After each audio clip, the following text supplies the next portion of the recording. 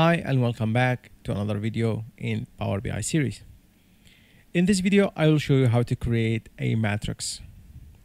A matrix is a very helpful tool that can be used to break down KPIs by any given category. For example, we'll be using the matrix to create or break down oil and gas production by dates and by wells. Once you click on matrix, now the matrix is added to your canvas. The next step is actually to populate the fields. I will be using monthly production. I will be adding the date as a column. I will be adding the wells or the well names as a row.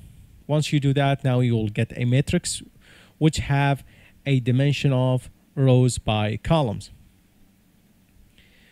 The only thing left is to add some values or to populate some values in this matrix.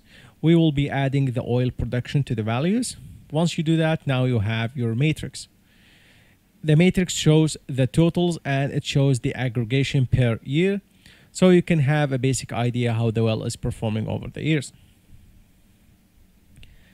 One useful thing you can create in the matrix is actually to color the backgrounds based on some rules that you set.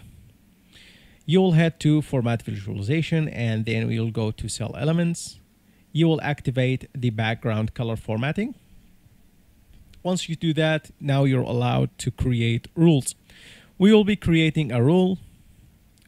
We will set the rule if the value is greater than 30,000 plus is it's less than some arbitrary value. Let's go ahead and say 300,000 and those both rules are numbers so let's go ahead and make this green to indicate that this is a good production.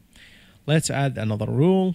This rule will be for intermediate flowing wells or wells that are performing intermediate.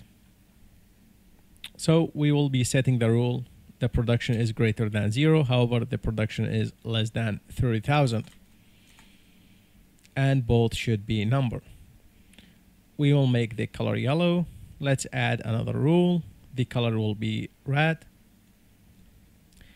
And in this last rule, we want only the wells that are producing greater than zero and less than 6,000.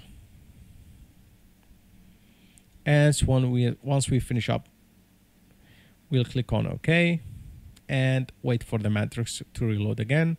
There we go. Now you have a full matrix that shows you the aggregation of oil production per year. And this can be extremely helpful as it can show you or identify quickly which wells are performing good and which ones are performing badly. Thank you so much. Stay tuned for more Power BI videos.